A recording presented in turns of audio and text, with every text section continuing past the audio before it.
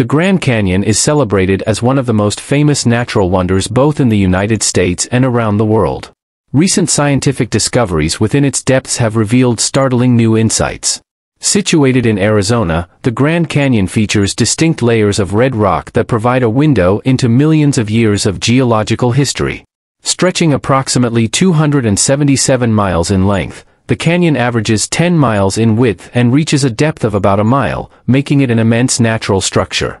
A large portion of this area is protected as a national park, showcasing the majestic Colorado River, exciting whitewater rapids, and stunning panoramic views. This magnificent wonder traverses four states, Arizona, Nevada, Utah, and Colorado, with the most accessible and popular viewing spots located in Arizona's South Rim and Nevada's West Rim. Each layer of rock in the Grand Canyon represents a specific era in Earth's history, showcasing its geological evolution over millennia. Recent findings from a scientific investigation have the potential to reshape our understanding of the Grand Canyon's past in a chilling manner. This discovery pertains to ancient Egyptian artifacts, dating back to an expedition in the canyon's heart on April 5, 1909. The Arizona Gazette published a front-page story detailing an archaeological mission funded by the Smithsonian Institute, which reportedly uncovered a series of underground tunnels high above the Colorado River. These tunnels contained an array of ancient artifacts, statues, and remarkably, mummies. This significant discovery, while intriguing, has an unexpected twist. Despite the sensational nature of the find, the Smithsonian Institute has no records of this expedition or the artifacts uncovered. This enigmatic revelation challenges our perception of the Grand Canyon's history and raises questions about what lies buried within its depths. Paleontological research has confirmed that a series of recently discovered fossil tracks are the oldest recorded tracks of their kind to date within the Grand Canyon National Park. The discovery was made in 2016 by Norwegian geology professor Allan Krill while hiking with her students. They came across a boulder containing conspicuous fossil footprints lying next to the trail, in plain view of many hikers. The track-bearing boulder had fallen from a nearby cliff exposure of the Manakacha Formation. By using a detailed geological map of the strata along with previous studies of the age of the Manakacha Formation, the researchers were able to determine the age of the tracks quite precisely to be 313 million years old. Tunnels with cavern-like structure, in 1909, Smithsonian Institution explorer found mysterious caves during an expedition. The cavern entrance was practically impenetrable, but Kinkaid could enter and make an astounding discovery.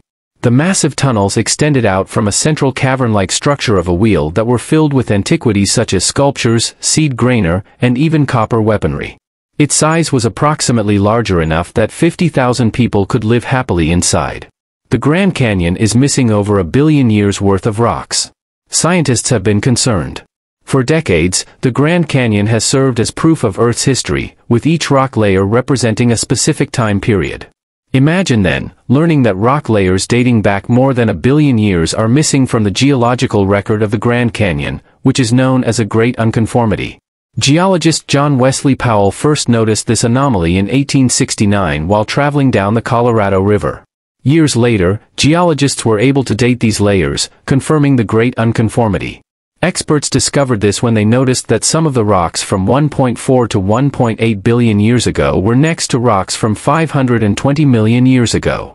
So, what happened to the rocks that are missing within this strange gap that even scientists find puzzling?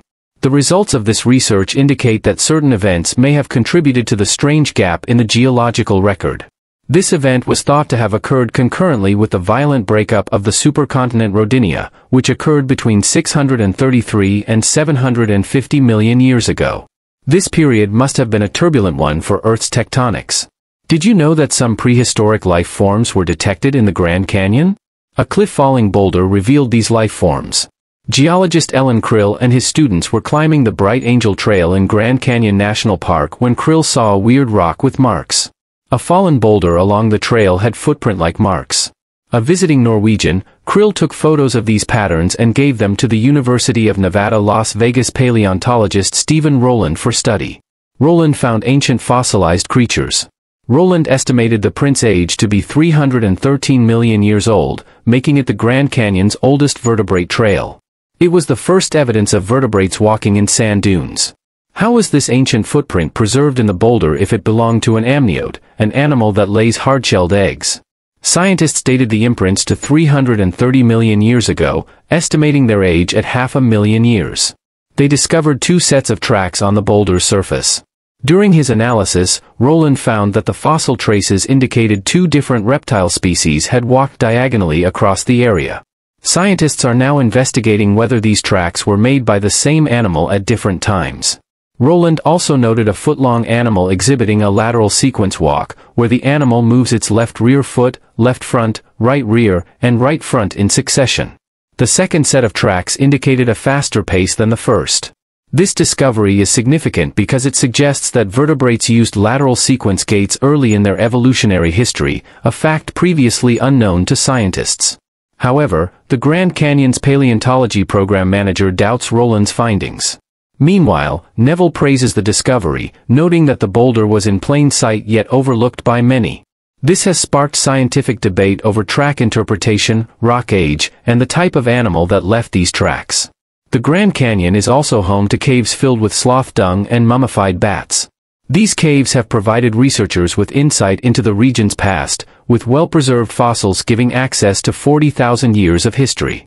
Life during the Ice Age was a challenging yet fascinating era, as revealed by scientific exploration. Initially, researchers focused on a cavern at the western end of a canyon, discovering dung balls and various skulls, including those of extinct and mummified mountain goats. The pollen found in these caves provided crucial insights into the plant life of the time.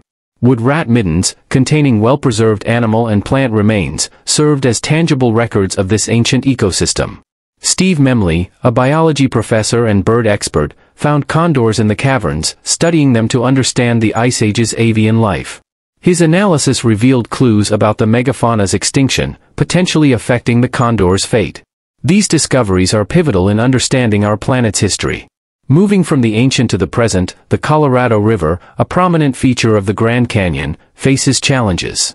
Despite its current flow, the river has been dwindling due to various factors, including concerns about trout in the region. Dams, particularly the Glen Canyon Dam, have been criticized by environmentalists for their impact on the river's health.